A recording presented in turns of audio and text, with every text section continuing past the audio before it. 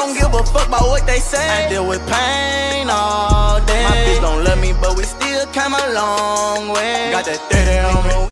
Hey bro, say bro, what's up to my gang man, what's up to my squad man, I am back at you guys with another video. Now today guys, in this video, y'all all seen by that title and that thumbnail, I will be showing you guys how you guys get to get a ton of season 5 stamina in Madden Mobile 22. But, before we hop into this video, if you guys are new to the channel, hit that subscribe button, turn post notifications on and like this video up.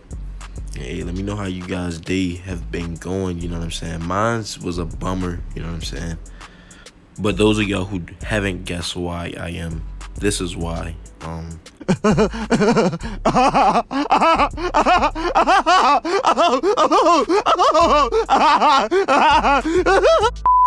The Ravens end up losing.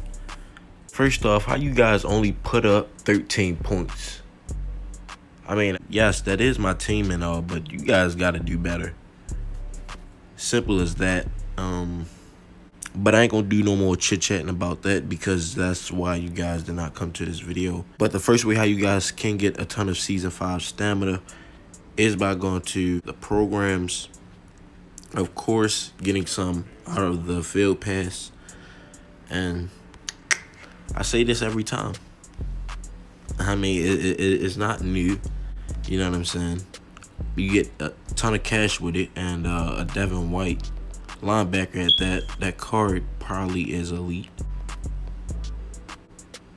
His speed is on a 312, dude. but this is the first way, so um, grind it out in the field pass, then go to championship run. And of course, I say it every time, you guys might not want to do it, but it, once you guys earn the cash out the field pass, you guys are able to buy a, a hundred stamina. Easy as that. Um, but before we continue this video, guys, let me know who you guys are trying to get right now out of the championship run. Um, they're going to end up adding more players, obviously. Um, but right now, let me know who you guys are trying to get. And, hey, the last way you guys can get a ton of Season 5 stamina is by clicking on the VIP. And it's going to take you to the store.